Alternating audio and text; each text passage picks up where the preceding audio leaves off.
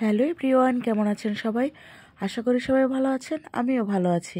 আজকে আমি আপনাদের সাথে খুব মজার একটা মাছের রেসিপি শেয়ার করতে যাচ্ছি। এবং এই মাছের রেসিপিটা খেতে এত টেস্টি এবং এত মজা হয়েছিল। তো এখানে আপনারা দেখতে পাচ্ছেন সুন্দর মাছ ভাজা হচ্ছে। এবং এই মাছ ভাজাটা আসলে অন্যরকমভাবে আমি করেছিলাম। এবং এই মাছ ভাজাটা থেকে এত সুন্দর একটা স্মেল আসতেছিল এবং এটা খেতে খুবই টেস্টি এবং খুবই মজা হয়েছিল। তো চলুন আজকে আমি যেভাবে এই মাছটা রেসিপি করেছি সেটা আপনাদের সাথে সম্পূর্ণটাই শেয়ার করব। তো এখানে আপনারা দেখতে পাচ্ছেন অনেকগুলি মাছ রয়েছে এবং এই মাছগুলি আমি প্রথমে এর থেকে আইসগুলি আমি ছাড়িয়ে নিয়েছিলাম এবং প্রত্যেকটা মাছ দেখুন সুন্দর করে আইস সারানো হয়ে গিয়েছে এবং এই মাছগুলি এখন এর লেস এবং এর পাশে যে কাঁটাটা থাকে সেগুলি এখন কেটে নেব। এবং এখানে তিন চার ধরনের মাছ ছিল, বাটা মাছ ছিল, সরপুটি মাছ ছিল, তেলাপিয়া মাছ ছিল এবং কার্ফো মাছ ছিল। তো চার রকমের মাছ এখানে ছিল। তো এই মাছগুলি একদম টাটকা পুকুর থেকে ধরা হয়েছিল এবং তারপরে এগুলি সুন্দর করে কাটা হচ্ছে। এবং যেহেতু টাটকা মাছ, এজন্য চিন্তা করেছে আজকে টাটকাভাবেই একটা রেসিপি তৈরি করব। কারণ মাছ কিন্তু আমরা কেটে তারপরে কিন্তু আমরা ফ্রিজে রেখে দিই এবং যতটুকু প্রয়োজন পড়ে ঠিক ততটুকু বের করে আমরা রান্না করে খাই। কিন্তু একদম টাটকা অবস্থায় যদি আমরা এটা ফ্রাই করে খাই এবং রান্না করে খাই, তাহলে কিন্তু সেটার স্বাদটাই অন্যরকম। তো এখানে দেখুন তেলাপিয়া মাছ এবং সরপুঁটি মাছগুলি কত বড় বড় ছিল এবং প্রত্যেকটা মাছের ভিতরে এত তেল হয়েছিল, এটা ছিল কার্ফু মাছ এবং এগুলি ছিল বাটা মাছ। তো তেলাপিয়া মাছগুলিও দেখতে অনেক সুন্দর ছিল এবং এই পাটা মাছগুলিও বেশ বড় ছিল।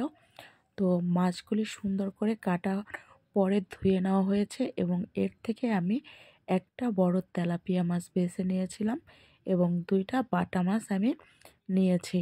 তো যে মশলাটা আমি রেডি করেছিলাম তার ভিতরে ছিল একটু জিরা বাটা, আদা বাটা এবং বেশ কিছু রসুন বাটা ছিল। তো পরিমাণ মতো হলুদ এবং মরিচের গুঁড়া, স্বাদ মতো লবণ এগুলি দিয়ে নেওয়া হয়েছে এবং এর ভিতরে আমি এক টুকরা লেবুর রসও দিয়ে দিয়েছি এবং লেবুর রসের ফ্লেভারটা অনেক সুন্দর। তো এর ভিতরে আমি একটু টমেটোর সসও দিয়ে দিয়েছি। তো মশলাটা ভালো করে ম্যারিনেট করে তারপরে আমি মাছগুলি মাখিয়ে এটা আমি এক ঘণ্টা সুন্দর করে ঢেকে রাখব। তো এক ঘণ্টা ঢেকে রাখাতে এর ভিতরে সবগুলো তো অনেক সুন্দর মশলাগুলি ভালোভাবে ঢুকে যাবে। তো সুন্দর করে এটা আমি ঢেকে রেখেছিলাম। এখন আমি এটা উঠিয়ে নিচ্ছি, কারণ এক ঘণ্টা আমার হয়ে গিয়েছে। এবং দেখুন, এর থেকে হালকা করে পানিটাও ছেড়ে দিয়েছে এবং এর ভিতরেও মশলাটা সুন্দর লেগে গিয়েছে। তো অলরেডি কিন্তু এখনও ভাজা হয়নি। এতেই মাছের থেকে যে এত সুন্দর একটা ফ্লেভার আসতেছিল, তো এতে আপনারা ঝালটা আপনাদের ইচ্ছা মতো দিতে পারেন। কারণ আমি যেহেতু একটু ঝাল ঝালই খাব, এজন্য এতে আমি বেশ কিছু মরিচের গুঁড়োটাও দিয়ে দিয়েছি। তো এখন আমি কড়াইতে সরিষার তেলটা দিয়ে দিয়েছিলাম, কারণ এটা আমি সরিষার তেল দিয়ে ভাজি করব। তো কড়ের ভিতরে অলরেডি আমি বড় তেলাপিয়া মাছটা দিয়ে দিচ্ছি এবং এর পাশ দিয়ে আমি সে বাটা মাছটাও দিয়ে দিচ্ছি।